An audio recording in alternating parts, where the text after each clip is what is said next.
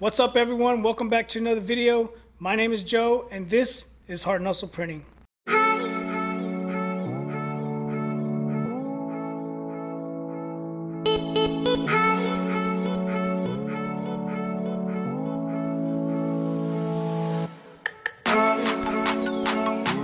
Right, so as you guys just saw in that clip right there, we're gonna be doing some halftones, right? Um, I do have simple steps and I do have a plugin to where I can to where I can separate this and get perfect halftones, right? But with this image that I'm using, they did not have a high quality image. And whenever I tried to vectorize it, it came out really, really bad. So how I did this was I got a notification from YouTube that Taino Ink. had uploaded a new video. In this video, he talked about printing halftones on a black t-shirt and it came out really, really good. So if you guys want to check out that video, go down below and you guys can click that link there and it'll take you to that video. If you click that link and you go to that channel to watch that video, make sure you guys subscribe to his channel because he is very knowledgeable whenever it comes to screen printing.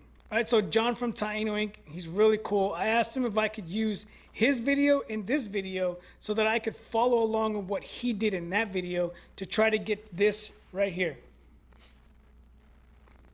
Right, so as you can see, we got some pretty good halftones right here, and this was done in Photoshop. All right, so what we're gonna do is we're gonna jump into the screen, and we're gonna attempt to do what he did. He did a really good job on his print.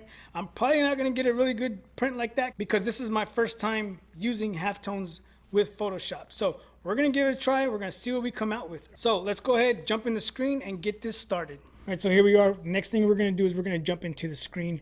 Um, what I'm gonna be doing is screen recording, right? Um, I'm gonna jump into Photoshop. I'm gonna have Photoshop on one side.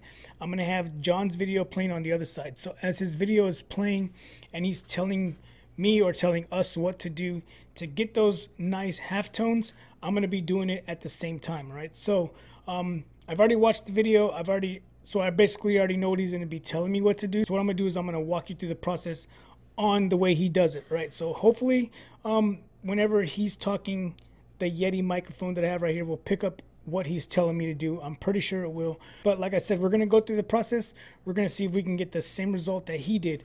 All right, so just keep in mind that this image is very pixelated.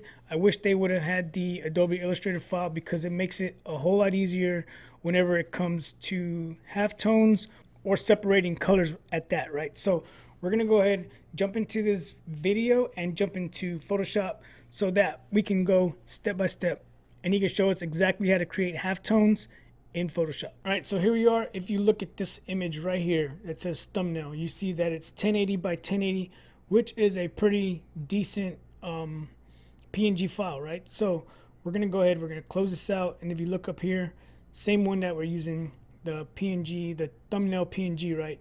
So um, with this image, if you look at it, whenever I zoom it in, um, it looks good here, right? Doesn't look bad. But whenever you zoom it in, is whenever you see how pixelated it is. Right? This is why I tell you, um, even whenever they send you the PNG file, make sure it's a high, high resolution PNG file so that you will eliminate any of the problems this person is having right here. But it's because they can't get the actual um, Adobe Illustrator file, which is the best. If you get someone that creates it, either they're going to create it on Adobe Illustrator or Corel Draw or something like that. So they can send you um, the file. If you're ordering it from someone um, that's creating your design, make sure that it tells you in their description exactly what files you're going to be getting. All right. So double check that. Just save you a headache. Right. All right. So what we're going to do is we're going to go ahead minimize this and then we're going to come down here and we're going to bring up our video of John speaking about how he does it whenever it comes time to do um, halftones, right, with Photoshop. I've never done it before. That's why we're going to watch him whenever we do it. All right, so I got my whole image in here. Um, if you guys do not follow him, you guys need to go follow him. Um, if you follow me, you should definitely be following him. He knows a lot more about screen printing um, whenever it comes time to this stuff. So um, if you're a subscriber of mine and you watch my videos, make sure you get over there. There's his name right here on the bottom. Taino Ink. Got 12,000 subscribers. Um, you guys need to go over there and check him out. Um, the nine people that gave him thumbs down, haters. That's all they are. Haters. All right. So let's go ahead, get into this video. And as he's talking about what he's going to do, we are going to be um, doing it over here. All right. Today we're talking about a one color half tone screen printing. One color. And we're going to be using Photoshop. Using I'm going to show you my way of how I set up any picture, any image, and set it up into halftone into a one color print. I know I've done this vid- video before, but the difference is that we're going to do it on black t-shirts, how to convert that into just a one color white print using a 230 screen and giving you that nice, beautiful look. So let's get started. All right, so he's doing it on a black shirt. I'm doing it on a white shirt because, like I said, inside of here we have white, right? So we are going to be stopping at a certain point whenever he gets to there. So let's go ahead and let him um, demonstrate what he's doing. And while he's demonstrating it, I'm going to do it over here. Here, this is the one I'm doing. This is for a job a client wants. He wants to give it as a gift to all his kids and cousins. Good idea. He just wants black t-shirts, one color print. So, first thing you do, once you have the image, duplicate that same image. Right, I'm not going to duplicate it because I'm just doing black and white Now, as it is. move it to the side. right, but if you're doing color, that's where you want to change it right there. So here we have both. The next thing you do is you want to go to image and go to image size. Image size. And let's go to document size. And I'm using a 13 by 19, but I don't want it that big. Uh, So I'm just going to go with an 11 So I'm going to do the same thing point um 69 that's good once you have the width the height is going to be there 15 but on resolution change it to 300 300. every time you want to do this you want that resolution at 300 the best that you can so here it is looks good right now there. you're going to come make sure you fit on screen and here we got it beautiful it looks even a little more better so now what you're going to do is you're going to go to image mode then you're going to grayscale Image. it's going to ask you discard Mode, color grayscale. information discard get that out of the way now as you see we have the gray scale All right, so ours was already grayscale, so we're good. But as you guys see, what he told us to do there, um, it did fix it a little bit. You know what I mean? Now we could, whenever we zoom in here, it's not as pixelated. I mean, it is pixelated, but it takes a lot more of the zoom before it starts to pixelate. Right, so we come down here, look at that. So we will have a nice, sharper image than what we had the first time. All right, so let's go ahead and get back in here and see what he has to say. halftones. We want to go to image, adjustment, layer, Adjustment. and then go to levels. Levels. Now, here's Right. the levels. What you want to do is you want to make sure you want to get a little darker than usual, just to make sure that all the things are going to come out nice. Okay. See, right here, right here. I think that's gonna be good enough. Let me bring it more a little bit over here because I want to see this part here or the background, the numbers. So now I'll press OK.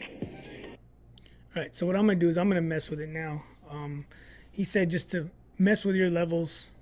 I mean, I guess until basically what it is what you like. So we're gonna zoom in a little bit here. We're just gonna move these around. Uh, if I move it too far, you see what it's doing. All right, move it back to where it was. Uh, let's see what we got here. We move this dark one. It's gonna make it darker. We don't want that because we want to keep that uh, grayscale in there, right? That's too much. And I think, I think where we're at, I'm just gonna hit cancel because I think where this is at, it's already good. Um, like again, this what he's doing here is for a full color picture, turn, turning it into a grayscale, right? Um, ours was already a grayscale, so I'm gonna skip that part right there. Once you already do that, now we are going to the halftone. And it's a very easy process. What you So got to do is go to image, mode, Image, bitmap. mode. Once you go to bitmap, the output has to be at least the most 300.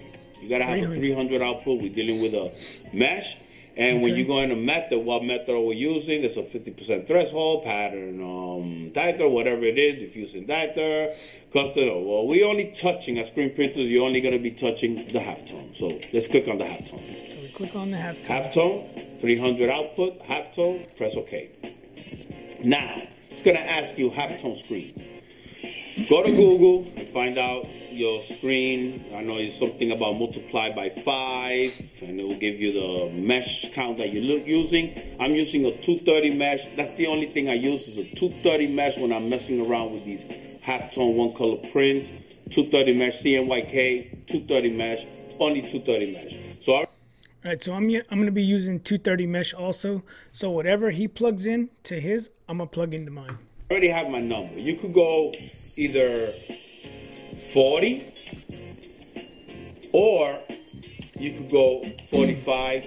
You could go a little higher, but remember the higher you go on your frequency, the smaller the dot. So it's gonna be a little, you're gonna have to be careful washing it off. but the best numbers for me to wash off is 45. 40, I've done some with 40, but 45. Now the angle is 22.5 because that's the angle that Google gave me with the mesh. When you're doing a uh, one color print, that's the angle. Now the shape, you're going round, diamond, ellipse. You could have line squares but a lot of people go with ellipse or round. Me, I prefer round, and we're gonna press OK. So now here it is. All right, so I'm gonna do the same thing that he just did. Uh, 45, 22.5, which is the angle, because we're using the same screen, 230 mesh count, and then the shapes. I'm gonna go round just like he did, and then I'm gonna hit OK. So now let's see what he talks about next. Check it out. Look at the dots there. Came out coming out real nice. Flip back on screen. Okay. Just a little there, just to see the dots. All right, so let's go ahead and zoom in and see what we got. So there are our halftones right there. So let's go ahead and zoom into this. There's our halftones. Move this up. Got the nice black on that, so that's good.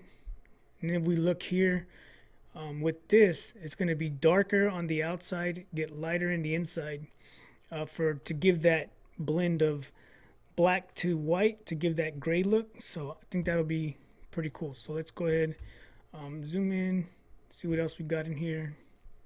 And all these little dots that you see here, what I'm gonna do is I'm gonna go in there and erase them because that is due to the white line that was in there. So all I have to do to, to erase that is come in here with this. So all I have to do to that is come here to this eraser tool and then just come in here and erase this before I go actually to print these uh these screens. So I'll just come in here and slowly um erase some of these little halftones that were left from the white because we're not printing the white remember like I told you.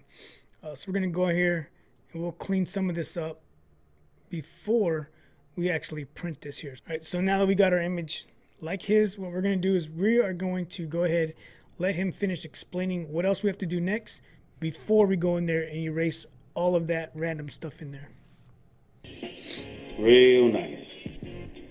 Okay. Back to fit screen.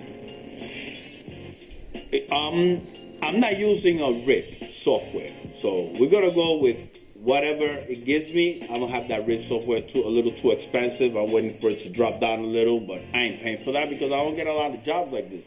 If you're getting a lot of jobs like this, go get that RIP software. It'll help you much better. But me, I get this maybe I get five or six maybe a year. I'm not paying no RIP software for that. So now that we already have it in bitmap, what we're gonna do is we're gonna go to image mode and we're gonna convert this back to a grayscale. Here it is, press Right. grayscale. so It's gonna ask it you back size ratio, you keep it at one, and Just you're gonna say one? okay. okay Once it's okay, you're gonna look at your layer and you're gonna take it and you're gonna unlock it. All right, so there's your- there's our layer right there. So we click it, it unlocks it. and we're good to go. So let's see what else he has to say.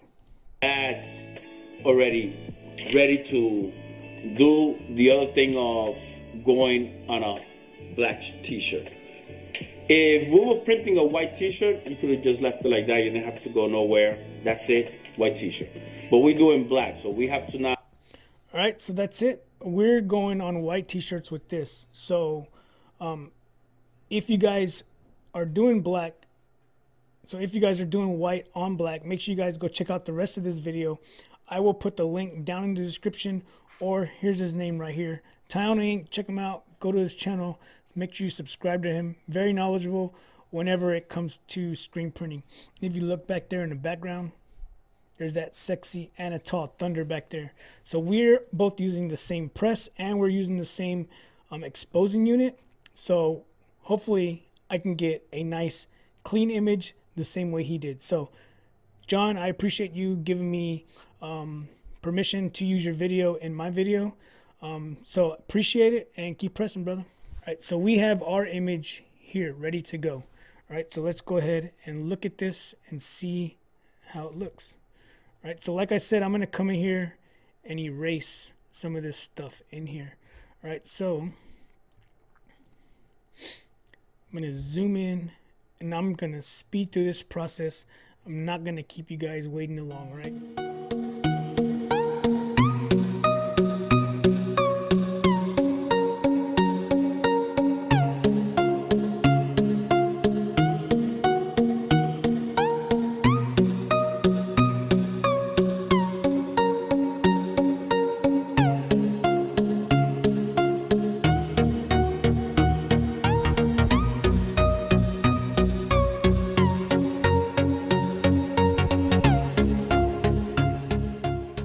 So here's our image. I saved it as a PNG file.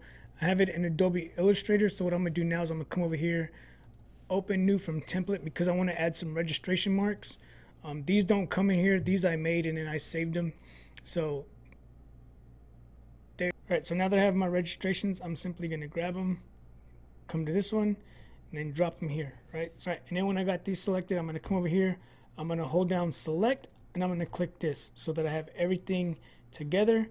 I'm going to come up here to the arrange or align to the to align it and I want to center it. So there it is nice and centered. So what we're going to do now is we're going to go out here to the Canon Pixma that I have and I'm going to print this out. so here we are in the dark room where I burned my screen. So what we're going to do is we're going to be using the Anatol Aurora exposing unit to expose our screen, right? So in his video, he said to use a 230 mesh. So that's what we're to be using, right? We're to be using a 230 mesh and then we're going to be using the Chroma Blue emulsion. All right, so here is the Chroma Blue emulsion. We're going to be using this. Um, this is just something that was on sale for the gallon. So instead of buying the quart, I went ahead and bought the gallon. Whenever it comes to emulsion, it's all going to depend on what you're using to burn your screens um, for your time. So for me, with this exposing unit and with this right here, I can do it for 10 seconds and it's good to go. Before this, I was using the pink stuff from Ryonet and with the setup that I had back then, I would do it for five minutes and I had no problems at all. But with this one right here and this Chroma Blue, 10 seconds, I get a perfectly exposed screen.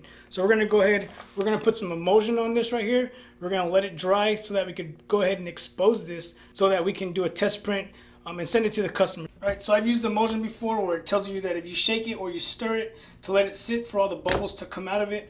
Um, I've never done that before, so I've always just went ahead um, shook it up just to get everything mixed up if it's been sitting for a little bit. And then once I get done with that, I go ahead and pour it into my scoop coater. All right, so with this image that we're doing, we're gonna be doing one screen. So all we're gonna need to do is just put enough in here to go ahead and coat that screen. We don't have to overdo it because then we're gonna have to wash it out anyways. So.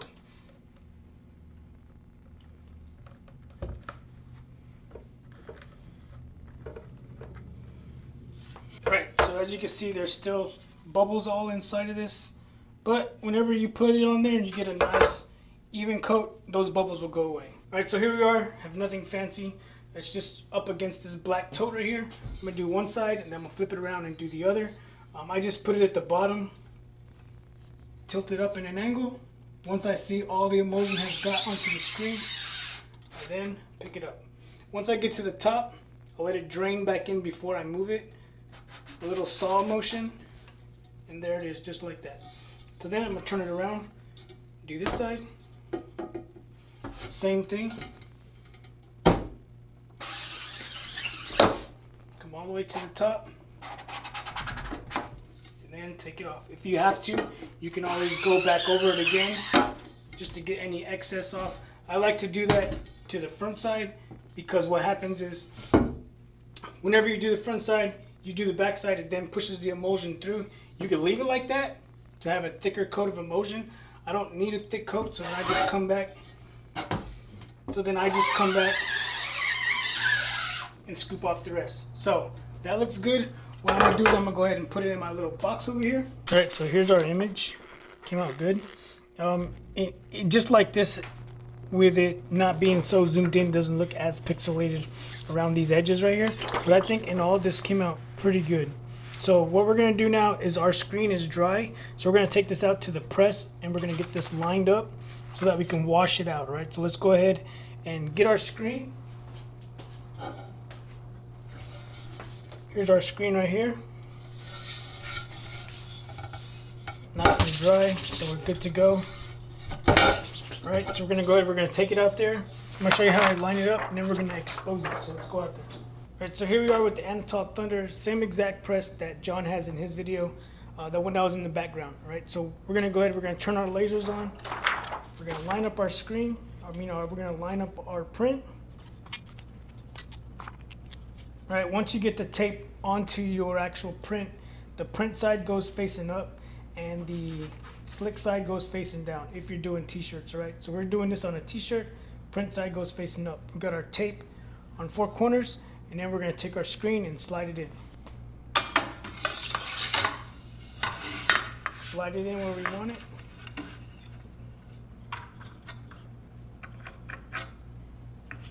This is just a one color job, so this doesn't really matter how you put it in there. Um, what matters is whenever you put it back in, right? So we're just gonna go ahead and bring this down. Good position right there. We're gonna tighten these up. And then we're gonna push this down. And by doing this right here, we're getting our tape to stick to the screen. So our tape is sticking to the screen so that whenever I lift it up, it sticks to that. So now we're going to take this and we're going to expose it and then wash it out.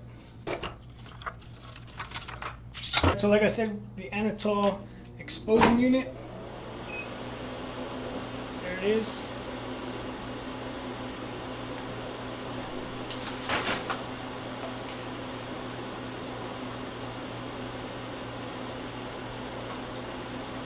Alright, so we're going to expose this for 10 seconds, right? So cool thing about this is it's got that suction on there. So you just put it in there, put it how you want it. Some people put it all the way to the back. However you want to put it, it's your preference, right? You just close it up. I have mine programmed for number two, 5 PSIs. And then if we look right here, there's 5 PSIs for 10 seconds. And then whenever you're ready, you just hit the play button. You're going to see the vacuum happen and then it'll expose it and then we'll wash it out.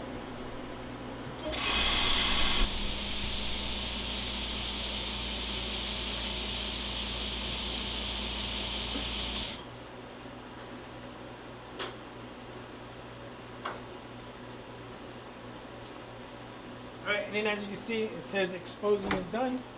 We're gonna open it up. You guys saw that was 10 seconds.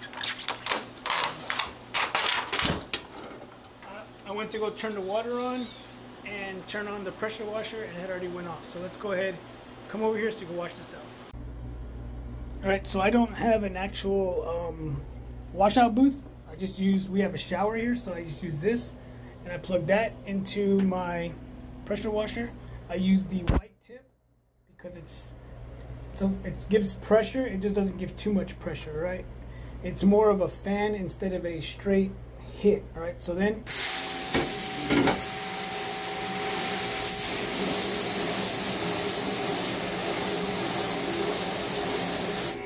We'll do one side, and as you can see, it's already starting to wash out with those 10 seconds, right? So now we're gonna do the other side.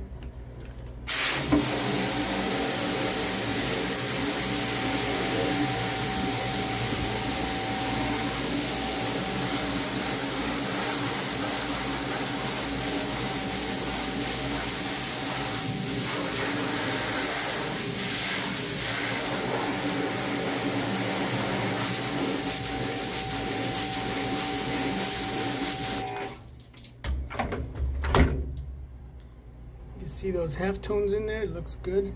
We're gonna flip it over, do the other side one more time. Not too much, but just enough.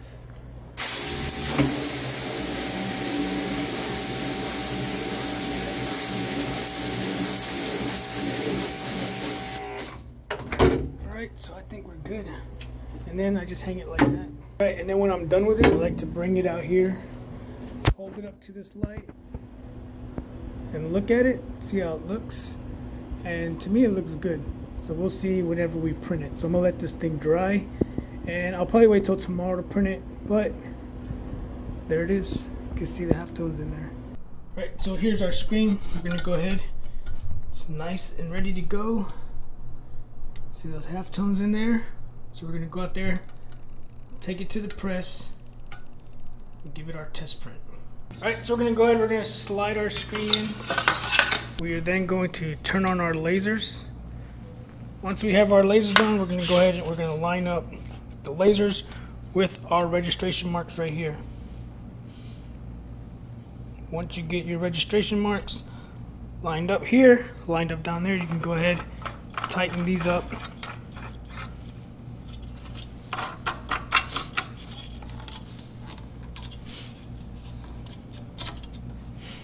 All right, so we're gonna be doing this, like I said, on a white shirt with black ink. So here is the sheet that I'm gonna be using, the Pellon sheet, test sheet that I'm gonna be using for my test print. Instead of using a t-shirt, you use this right here. All right, so I'll put the link down in the description for this.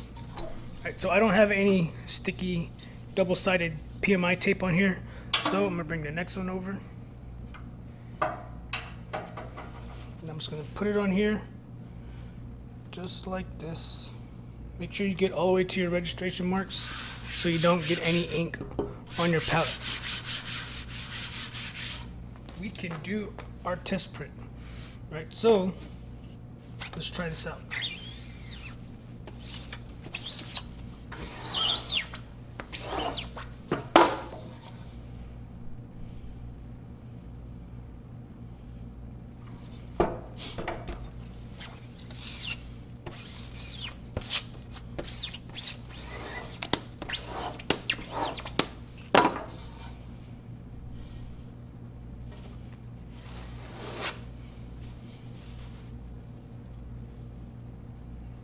Alright, so here's our first print right here. Came out pretty good. What I'm to do again is what I forgot to do is check the off contact on this. So make sure you check the off contact on this. Make sure you got enough space between the print and the actual palette, right? So you can get a better print. Um, we're to do it again. This looks good anyways, but we're to do it one more time.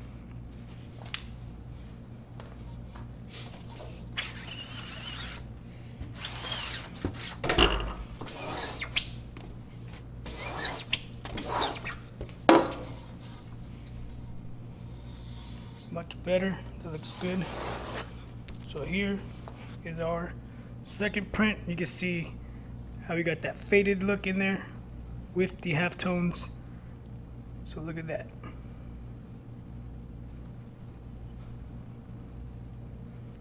So we're gonna run this by the customer. Once they approve it we'll go ahead and start printing the rest of the t-shirts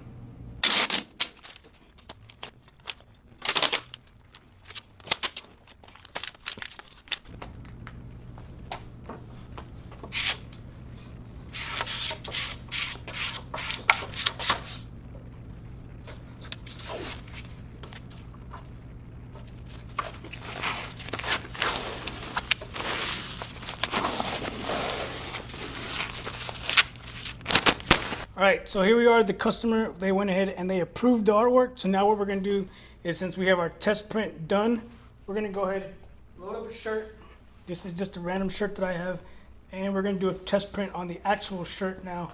And then whenever we get done, if it turns out good, we'll start printing them on the shirts that they ordered.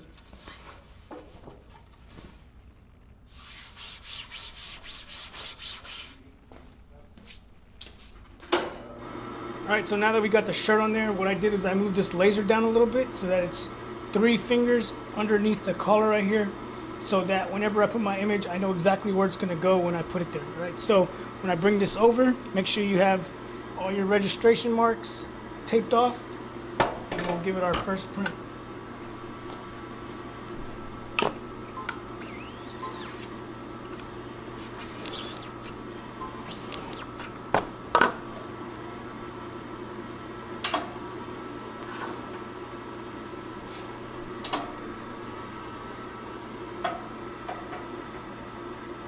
Right, so there it is. This print looks really good. You can see the halftones in there.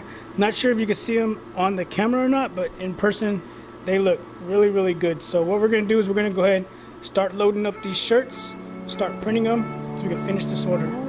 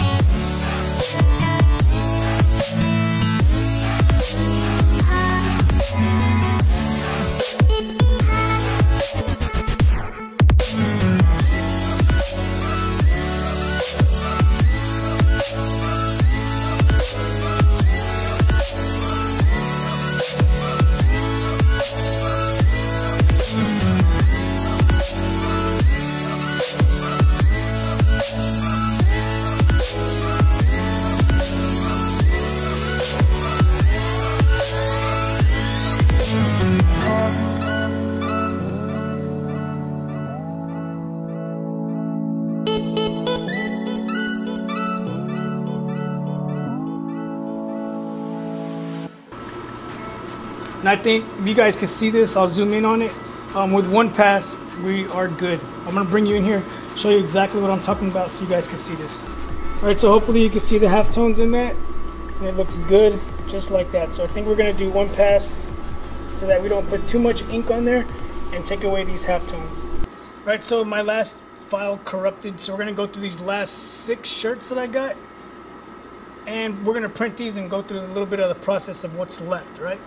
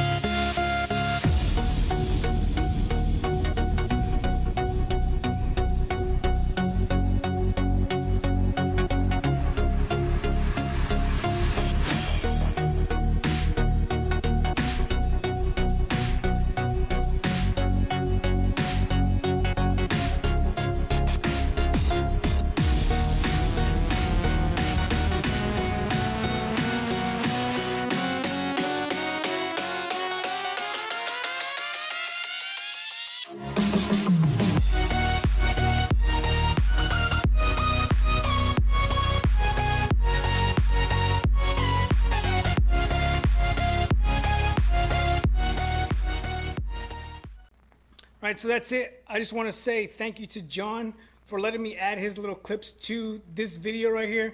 Um, if you guys are interested, like I said, I'm going to put the link down below so you guys can check out that video. If you guys are trying to do halftones without a program, like you said, it's expensive to purchase a program. And if you don't have jobs that are, you're doing it all the time, then it's probably not worth it. So um, go down below, click that link. And if you're using Photoshop, he's going to show you exactly how you could turn a regular photo into halftones. And last, I want to say thank you guys for all the support. We started this year with 10,000 subscribers, and my goal was to hit 12,000 more to hit 22,000 subscribers um, by January 1st. And here we are, uh, January 1st, and we hit 27,000 plus subscribers. So thank you guys for all the support, all the positive feedback you guys have given me. I appreciate every single one of you. All right, so I'm excited about 2021 and no better way to start 2021 with some new equipment. So let me show you what we got. All right, so here is the new equipment for 2021. I'm excited to uncrate this, get it set up, and then I can put a video together for you guys. Uh, we are to do an uncrating video for you guys, but new equipment for 2021.